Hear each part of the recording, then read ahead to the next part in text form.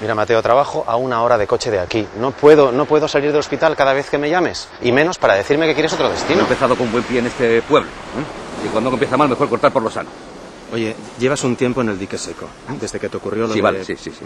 Yo creo que por mucho cambio de destino que hagas, como no cambies tú...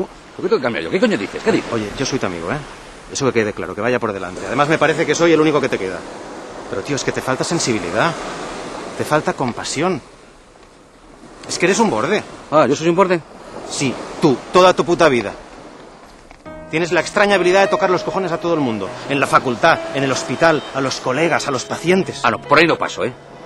Ponme un caso, ponme un solo caso en el que yo he sido borde con un paciente. Ponme uno. Mateo, por favor. Yo con los pacientes soy un profesional. Y eso es suficiente. Bueno, pues aquí no. Aquí la gente va al médico para que se les escuche, para que se les trate bien, para hacerles sentir mejor. Ellos no van a tener nunca un médico mejor que tú. Y tú no puedes volver a pisar un quirófano.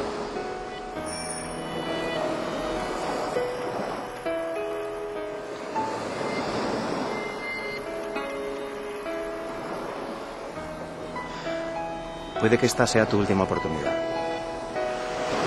Así que, ¿por qué no intentas cambiar un poco? eh? Un poquito. Vale.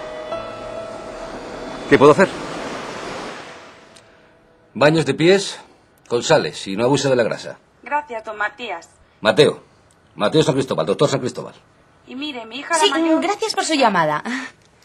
Hoy nos visita amablemente el nuevo médico de San Martín del Sella, el doctor Mateo. San Cristóbal. Sí. Bueno, dejemos a un lado lo profesional y pasemos a lo personal. ¿Casado? No. ¿Y deja algún corazón roto al otro lado del océano? ¿Eh? Me refiero como hombre, no como cirujano.